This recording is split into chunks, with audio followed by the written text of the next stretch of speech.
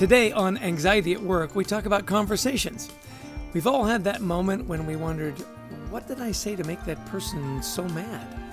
I'm Chester Elton, and with me is my co author and dear friend, Adrian Gostick. Well, thanks, Jess. Yeah, we're going to talk today about how we listen, how we interact and talk with others to bring down our anxiety levels and the anxiety levels of those around us. Our guest today is Chuck Wisner, a thinker, coach, and teacher in the areas of organizational strategy, human dynamics, and leadership communication. He has spent 25 years as a consultant and advisor to leaders in companies such as Google, Apple, Tesla, General Motors, and Shell. I've heard of every one of those, uh, Chuck.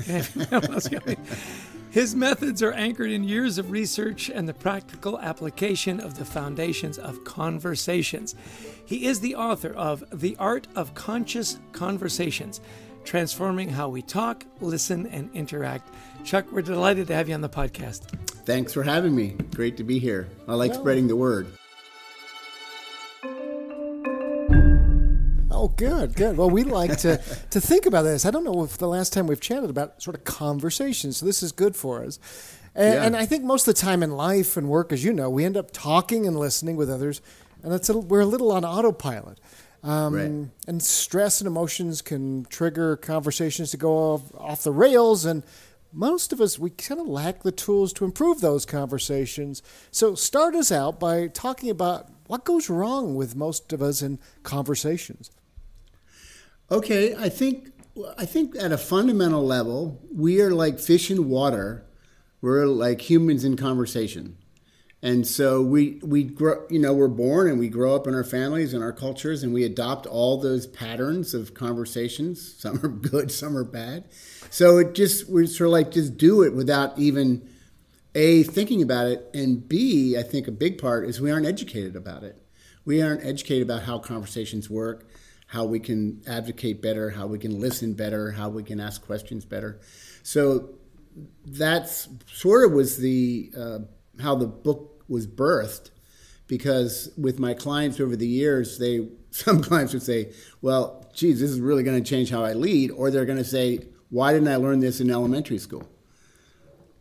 So, yeah, you know, it, it, so what you're saying is you kind of inherit the way you converse with people. Is that did I get that right? Yeah, yeah, and we inherit it, and we adopt these patterns that we we don't even consciously choose. We we just sort of like get them, and then we have them as patterns and they're very comfy. They're like nice warm slippers or nice pajamas because we know them, we know how to do them. We don't have to think about it. It takes no energy, it takes no effort.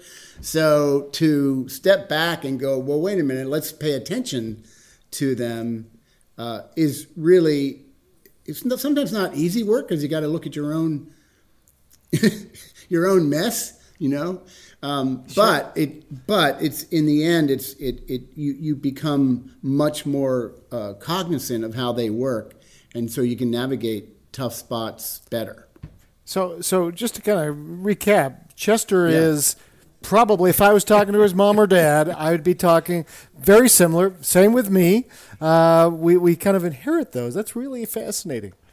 Yeah. yeah. yeah. No, listen, and I, I totally relate to that. When I'm with my brothers, we have the same cadence. We have the same expressions. We have the, in, in many cases, people kind of freak out because they'll say, I'm getting Elton in stereo. Like you guys sound and act exactly the same. You're, you're clones. Well, okay, so let's go deeper because you do talk about this idea of uh, fundamental conversation types, which yeah. I think this is really interesting. And there's four. Yeah. So do you want to walk us through that and knowing how how when we know these conversation types we can better communicate with people we're talking with sure and and so the four um, well before i do that i just want to piggyback onto our thing about adopting the how we talk because i like to call them patterns for a very particular reason. I call them patterns because i think it takes some of the sting out of it some of the judgment out of it some of the self-judgment out of it where when we start looking at our conversational patterns we can look at it with curiosity and go oh wow god i learned that from my pop you know, or I, learned that uh, from my high school history teacher or whatever. So the pat- the idea of looking and and labeling them as patterns helps us sort of get a little removed, and we go, oh, that's not me; it's a pattern, and I can change it. So I, I just wanted to plant that seed because it helps. So the four conversations um, are something that I learned through my studies in the ontology of language, and then later it dawned on me that with all the complexity of language and all the books out there ar- around the different components of language, it's very hard to get a hold of that material. And so I found that the four conversations were a way to organize a lot of complexity and a lot of tools and practices uh, so that it was more manageable and more practical. So the first conversation is storytelling, and we thrive on storytelling. We, stories are a beautiful thing. In fact, we would not be able to exist without them. Our brain has a there's a part of our brain that just does make stories. You know, it collects these billions of bits of information based on our past, based on our history, based on our experiences, says, oh, here's what's happening. And then we have a story. And they're beautiful things until they aren't. Uh, and I say that because stories serve us really well, but because of this unconscious uh, process that goes on, we adopt. We also adopt stories that that are don't serve us well. Uh, and the, the small example, uh, not small, but a, a, quick idea of a sample I have in the book is I grew up being told I wasn't a big enough man because I didn't like to skin the deer in the basement, because I didn't, I cried and my three sisters cried, but I couldn't cry. And literally, when I started studying language, it was only then that I realized I had a master story that said, You're not a big enough man. And when I was able to bust that story, I walked into the office, you know, the next day, the next week, whatever. I'm, you know, who knows. And I walked in, and the president of the company is there, friend of mine, and I eventually become a partner in this firm. We're having coffee, and I I look at him and I say I, to myself, I say, "Oh my God, I'm taller than Bill." And before that time, I never saw myself as as the six foot man I was, right? So that's just a small example. So every meeting we go into, every family reunion we go into, every Thanksgiving dinner, we all come with our stories, right? They might serve us, they might not serve us, but paying attention to them and bringing them into the light is really helpful. Should we stop in questioning each one, or should I go through the others?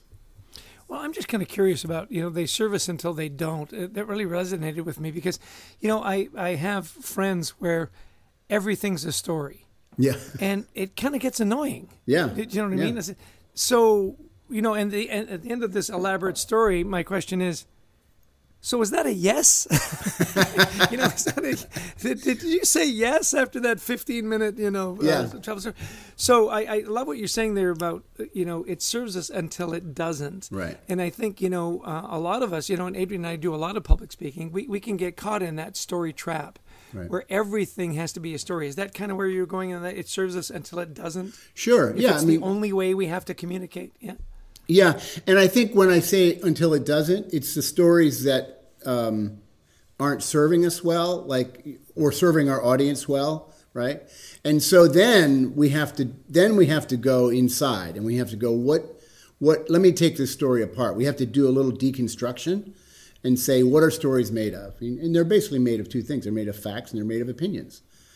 Facts, uh, uh, minus the last four years or the last six years, used to be something we could all agree on, and and then opinions are where it gets really messy, right? Because that's where all of our, our prejudices, all of our uh, biases come into play, and then we start we start holding our opinions and our stories as the truth when in fact they're not.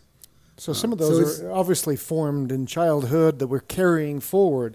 Those stories right. we're telling ourselves, as well as, as you mentioned, you know, in sort of public life and social stories that that we hear, that we believe, then we're going to hold on to that, no matter if facts may may counter those.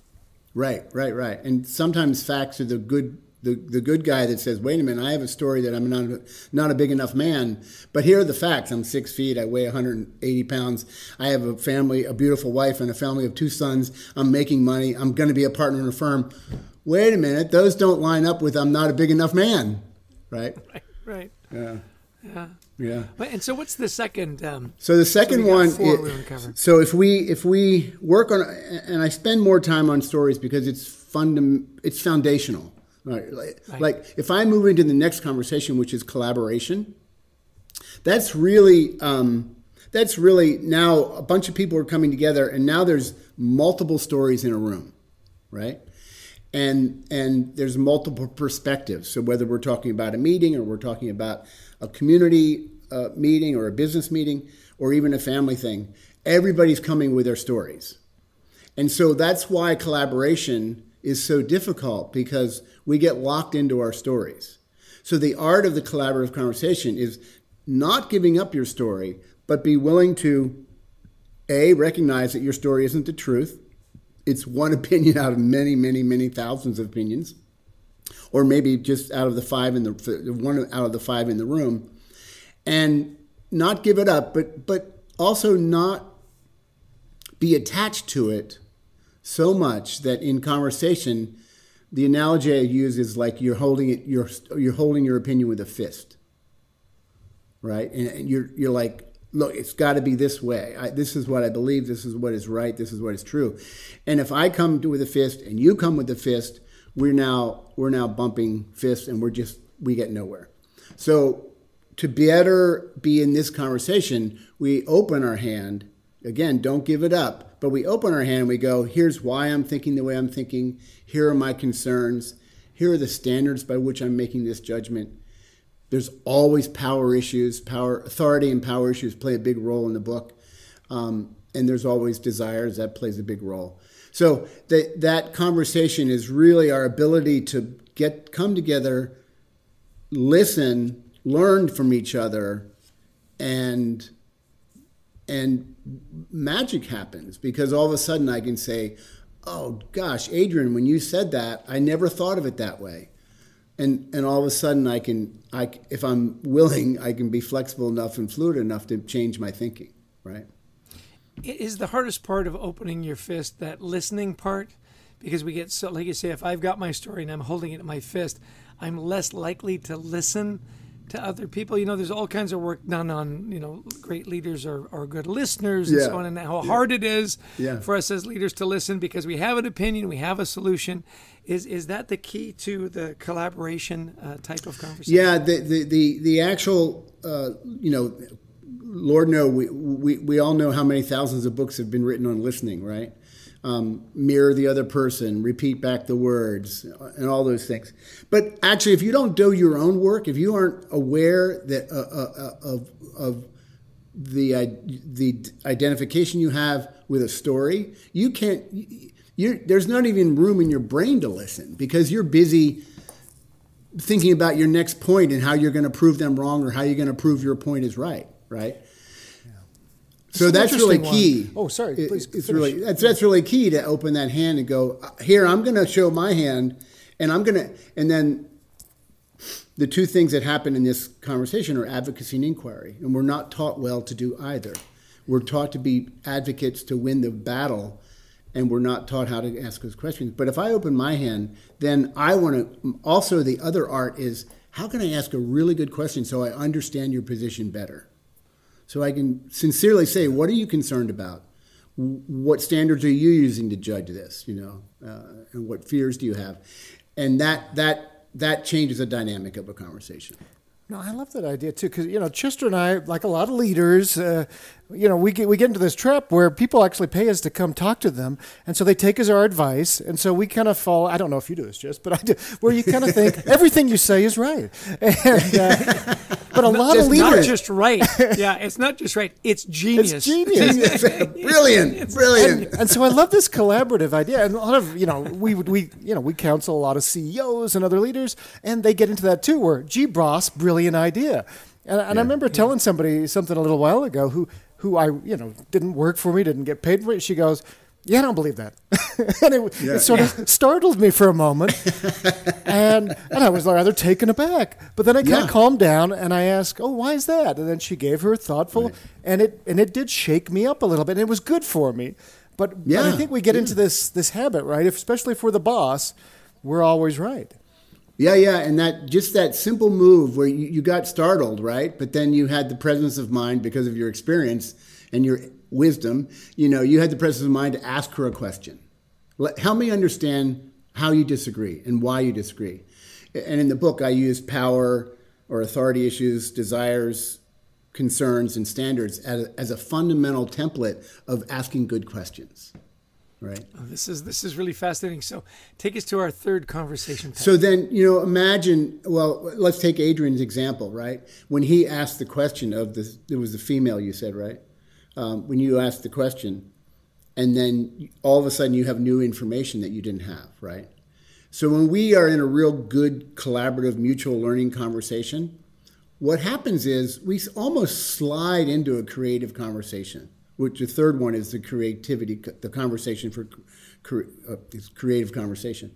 Um, we slide into that because what happens is, as as we let go, we open our hands, we we we're, we're learning from each other our, there's space in our mind because we aren't so locked down, and ideas bubble up. And in Adrian's case, it might have been that you and the CEO might have said, "Well, it's not Adrian's way," and then you hear her, and maybe a third idea, maybe a new idea bubbles up that you didn't think about or she didn't think about, and so, so that's the value of the creative conversation, and and there's a couple parts to it. One is at an individual level are we willing to uh, put down our put aside our judgments so we really can consider possibilities? Because this conversation is about uncovering possibilities being open to possibilities and then the other personal element is really trusting our intuition because often our intuition is going to say hey try you know go that way or go this way but often because of our stories and because of our defensiveness we we can't even hear those voices does that make sense? Yeah, yeah. You, are open. All of a sudden, you're open to that creativity, and I, I think that's what's really missing in a lot of conversations, whether it's within your families or within your communities, uh, certainly in the political spectrum. Yeah. There aren't very many creative conversations going on. You know, right. I'm right, you're wrong. Right. And, and a lot of people say it's a brainstorming conversation. Well, any brainstorming session you've been in, the first mistake that's made is someone will come up with an idea and the next person says, We did that, we tried that five years ago. Right. Boom. Right. And they shut it down. And the conversation is shut down. down, right? And and and the art is to be open to possibilities. You know, it's like it reminds me of quant. I think of quantum physics because there's all these potential, all this potentiality, and all these possibilities. But if we are locked in on a particular answer, right, or a particular direction, we can't see all these other. We can't even hear all these other possibilities. Yeah, right. thanks for going to quantum physics because Chester or I would have gone there pretty soon. Yeah, yeah. It's kind of our go-to, really, yeah, when you think about it. Yeah, yeah. yeah you can blame ever everything on quantum watching, physics.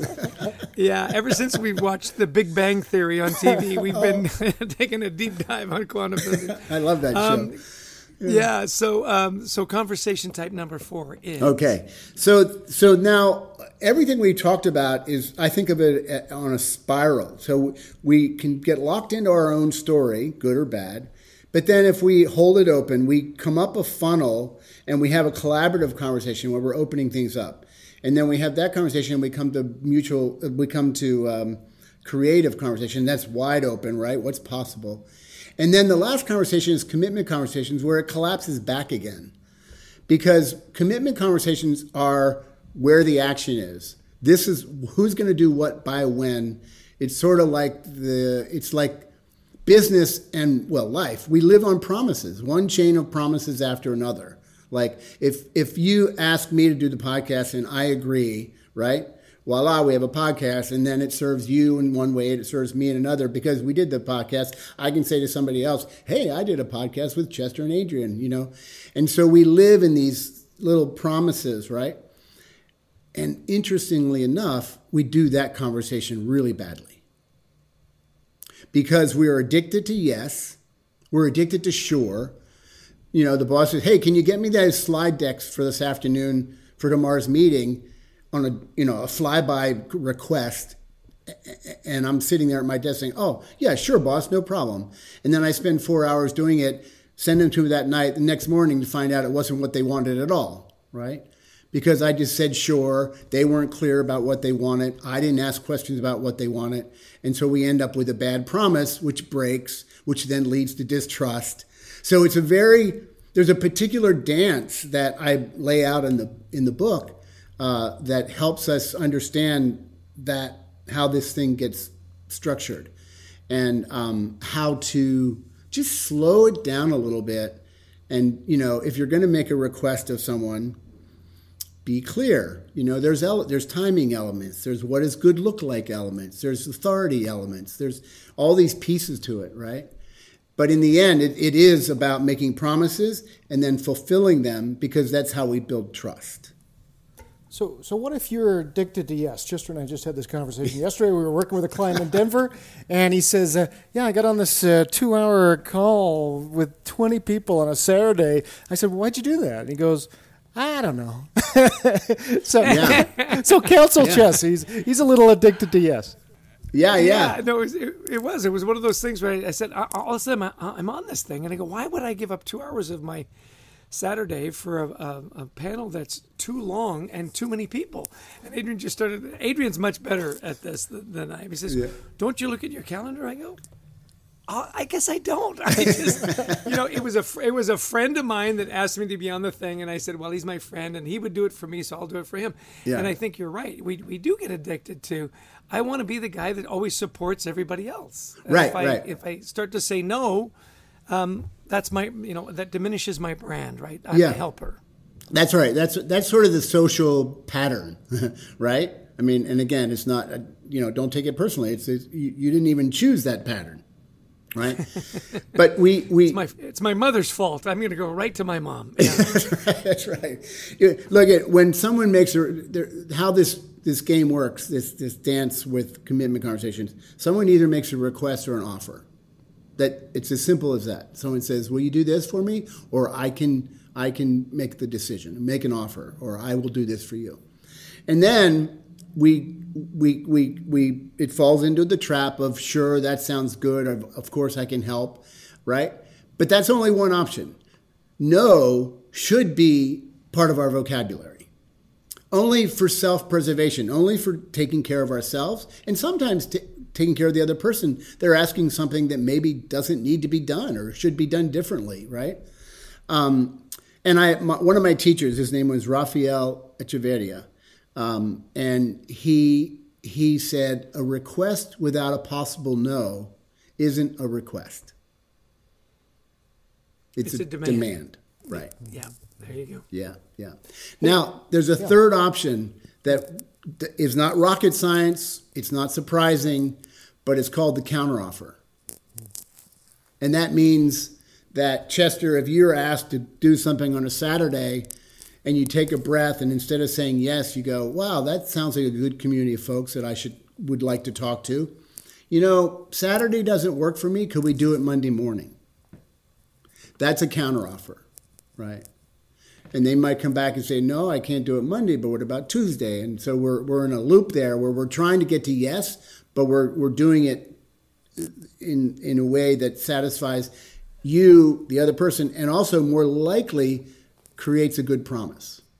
Yeah, yeah, I, I am really liking this counteroffer. yeah. get get the, get them to say no, right? Then, then, you're off the hook, right? right. Hey, I, I, I, made a good offer, and you know it's it's kind of like when when you offer to help somebody move, and then they hire a mover, you get credit for the offer. Yeah. Even though you didn't have to help the guy move, this is this is genius. Yeah, yeah.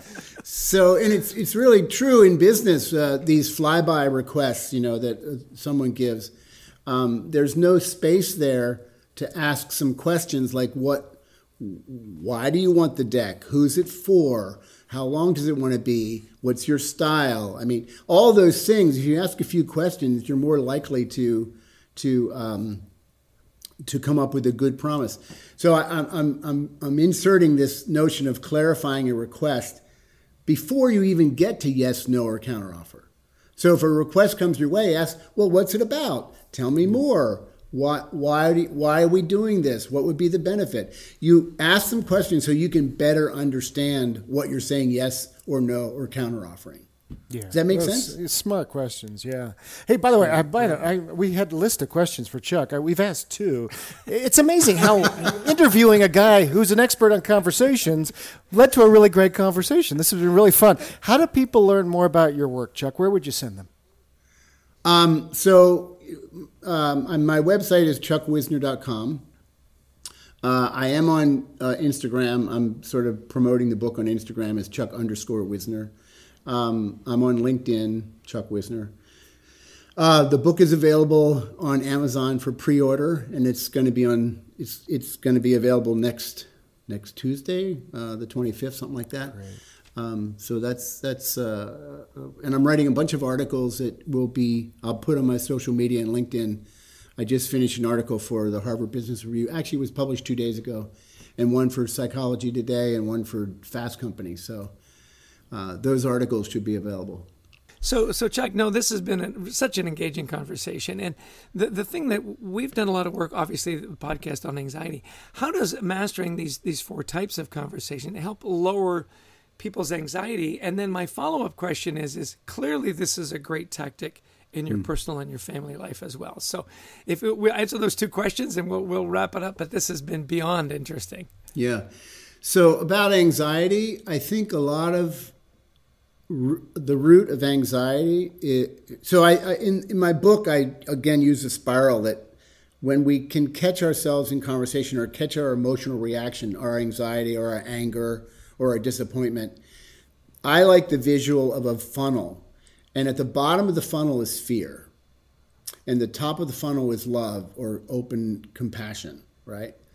And so when we catch ourselves with a, a, an emotional reaction, to ask ourselves, where am I? Am I spinning down? Because if we spin down the funnel, if, if a fear kicks in, we spin down that funnel and we can't even we can't see straight at all. All we do is feel the fear and get the chemical flush in our body, right? So if we can catch ourselves somewhere and go, whoa, I'm, I'm having this anxiety. What's this about? And we can actually ask ourselves a few questions. What am I concerned about? Is my are my desires not aligned with reality? You know, is there a power struggle going on?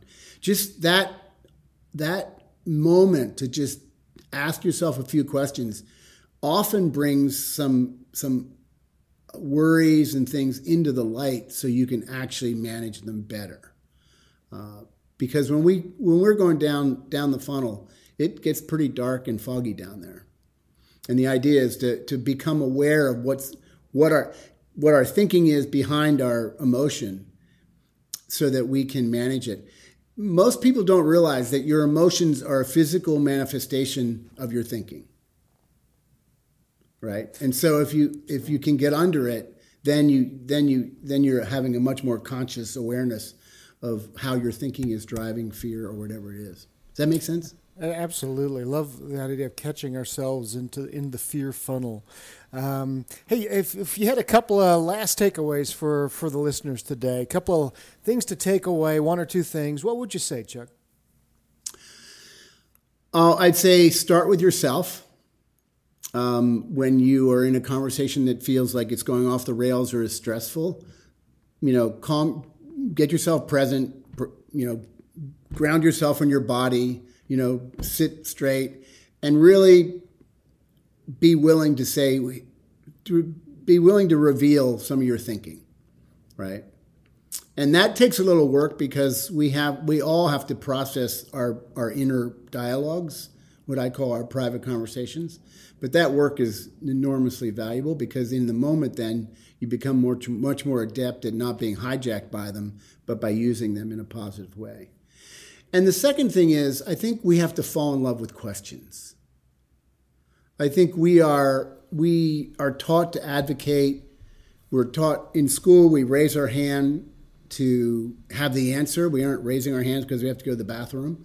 Well, maybe we do that when we have to, but but we're raising our hand because we have the answer. We don't raise our hand saying, "I have a really good question for you," you know. And some teachers might be a good teacher would be open to that, but a not good teacher would not be open to that. So I'd say we have to fall in love with questions, you know, to better understand each other and to better understand ourselves. Just such good advice. I, I, I love everything you've said, you know, and, and it's so interesting as you start to break it down into the four types. That really resonated with me because I, as you mentioned, the first one, the storytelling, it's so easy to get lost in that, and that's your right. brand, and disregard yeah. the others. And as you start to understand the different ways to communicate and, and to protect yourself. I also really appreciated the, the idea there of how you tamp down your anxiety. You start with love, don't let it funnel down in, in, into fear. Start yeah. with yourself. So, some great advice there.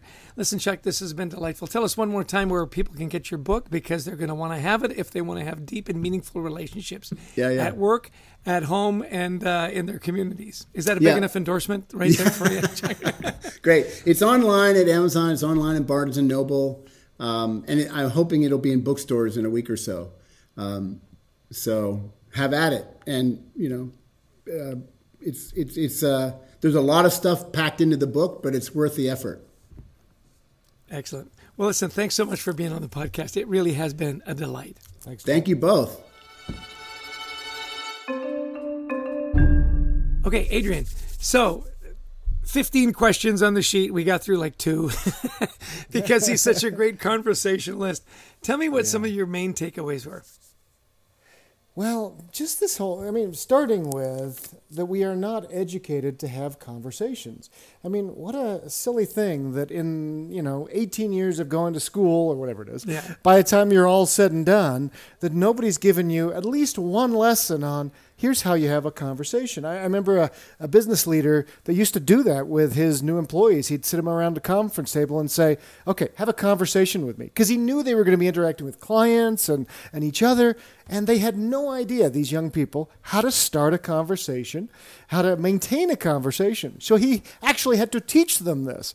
So what a what a first off that was really powerful. Yeah, and it made sense to me that the, most of this is inherited. I mean, the way you grow up and the conversations you have at the dinner table, or you know, at school or on the on the soccer pitch, whatever it might be, it makes sense. And yet, it, it never occurred to me that we would kind of gravitate towards like one of the four that that would be dominant, and how important it is to understand all three. I, I love the commitment you know, the commitment conversation, that clarification, and how that tamps down your anxiety. I know, you know what what what's expected when it's due, how perfect it, it has to be, and of course, one of my biggest takeaways is the uh, the counteroffer. I, I love that. I'm gonna I'm gonna live with that for the next twenty years. Well, and on that commitment, I mean, how many people say yes and then just never do yeah. it? Yeah, and it's it's that's really powerful. and deliver kind of backing up. I want to start with that idea of the stories this, yep. that we tell ourselves. You know, in his case, I'm not i I'm not a big guy. I'm not any. And and I've seen that too. I mean, just that's one little example, but where people kind of go. Really, I'm I'm I'm tall. You're like six three. Yeah, you're tall. but they they still are small in their minds because of something that's happened. But Now, that's just one example, but we carry these stories around with us like little bubbles. Right. And yes, I am this way. I am this political party. I am this. I am. I am this, that, or the other. And and but not collaborating. Yeah. How we hold our stories in a fist. I thought that was such a great metaphor. Mm. And to be collaborative, you know, you've got to open your fist. You've got to be open to other people's ideas. My last takeaway that I, I just thought was brilliant is fall in love with questions. Fall in love with questions. Uh, you know, raise your hand and say, "Teacher, I've got a really good question for you." you know, the preamble, and and be curious. I, I think you know we've lost in our personal dialogue, in our public dialogue, that curiosity, and of course the out outreach of curiosities, lots of questions. So fall in love with questions. It was my big takeaway from today. And I love that idea. And I've seen that where people do that where and it's it's so refreshing where you may have a wacky idea and instead of somebody going they go huh, tell me more about that. Yeah. You know, and it's and you know they're not buying in, yeah. but they, at least they want to listen to you. Yeah. And, and, it kind of challenges you as well to, to really present your point in a in a more thoughtful way versus, yeah, that's the dumbest thing I've ever heard, Adrian. Yeah, yeah. yeah. Well, our guest was Chuck Wisner and really an engaging conversationalist, as, as you would hope. His book is The Art of Conscious Conversations Transforming How We Talk listen, and interact. I'm going to order my copy. You should order yours too. And I'm sure it'll be brilliant. Well, we always like to give special thanks to our producer, Brent Klein, who puts this together and edits out all our, our foibles and, and mistakes. And to Christy Lawrence, who helps us find these amazing guests. And of course, to all of you who listen in. We, we love sharing the knowledge of all these wonderful people we meet with you. And if you like the podcast, please share it. You know, um, we've created a virtual online community called thecultureworks.ai. Um, and we that's a place where you can be you know safe in talking about anxiety and workplace issues and so on. We really appreciate you giving us our time. Share it. Join our community. Adrian? And we love to speak to audiences around the world, virtually or in person, on the topics of wellness, resilience, culture. So give us a call. We'd love to talk to you about your event. Um, don't forget to pick up our book, Anxiety at Work. And thank you, everybody, for joining us today. And we wish you the best of mental health.